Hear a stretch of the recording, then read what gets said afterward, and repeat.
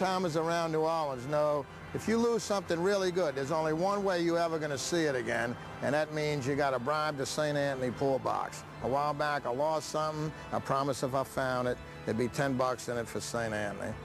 I'm here to settle up with the Saint.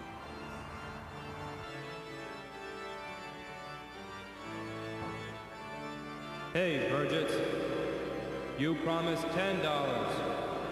That looks like a five to me.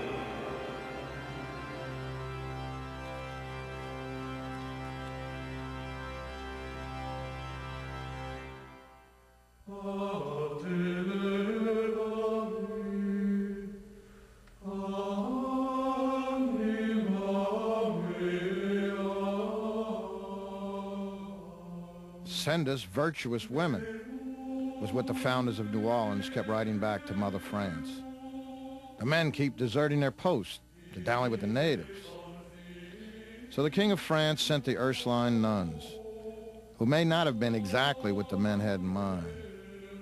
But these nuns, seen arriving in New Orleans in 1727, paved the way for the marriageable women, the casket girls and their descendants, who would turn New Orleans from a temporary outpost to a permanent settlement. The Ursuline nuns were the, the principal players in, in the history of the city uh, from its beginning. Uh, they were the ones who, since 1727, have been educating the, the women of this community. And as I say, for the first hundred years, they were practically the only source of learning and culture in the city.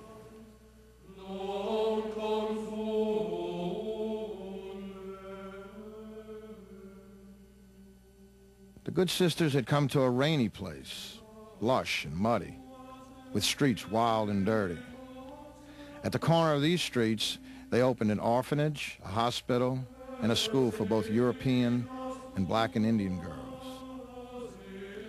Here the good sisters enclosed themselves behind the bars of a voluntary and liberating jail, living a life signifying belief in what can never be touched, only felt. A spare life, but nuns are women in love, and a woman in love overlooks minor irritations. They were not lives of abstraction, but in tune with their times. Here and every day, they dealt with the daily fears and dreams of the societies at hand, whether they were prosperous or downtrodden, old or new. Here the childless brought all their nurturing instincts. Here, 50 years before there was an America, the civilization of New Orleans began. Here the frontier begins to end under the pacifying female hand and heart. In this chapel, New Orleans prayed for General Andy Jackson and Chalmette, and he came back to thank them. Later, it would become the Archbishop's residence for 70 years.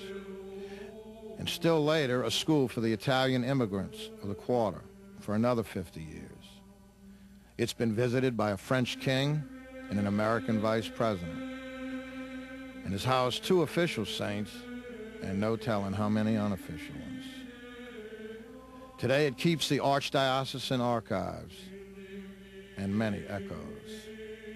Words really can't describe the, the feeling you have to, to live on these sacred grounds, to know that you had the whole history of the city and the church here, and all these great people that have, have gone before you. You, almost feel their presence here. Uh, it's like you're a guardian of history, or you, like you've been given charge of a treasure to, to preserve and uh, to make available so that other people can enjoy it with you. And, and uh, I think that's my great privilege.